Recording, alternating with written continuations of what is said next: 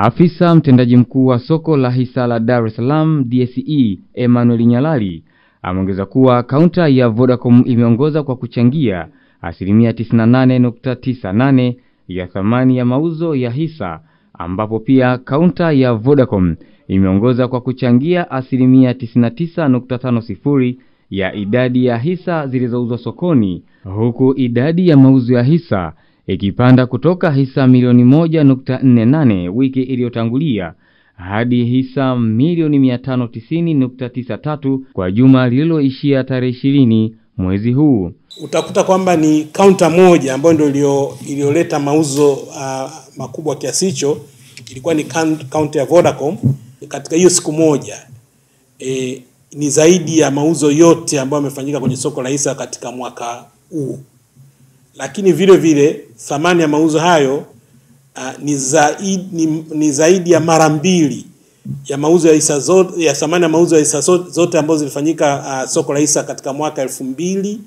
na kumi na nane. Kwa hiyo ukicheki uh, katika mwaka elfu mbili na kumi na nane thamani ya mauzo ya mwaka mzima ilikuwa ni bilioni mia mbili na nane hivyo,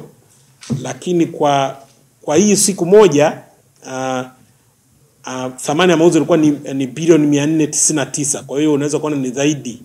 ya mara mbili ya, ya, ya, ya mwaka wote wa elfu mbili na kumi na nane. Pamoja na kupanda kwa thamani ya mauzo ya hisa, pia thamani ya soko la hisa imepanda mpaka kufikia shilingi trilioni 19.03 ikilinganishwa na thamani ya soko hilo katika juma lililotangulia ambapo ilikuwa ni shilingi trilioni 18.82. Thamani ya soko la hisa ni equity market capitalization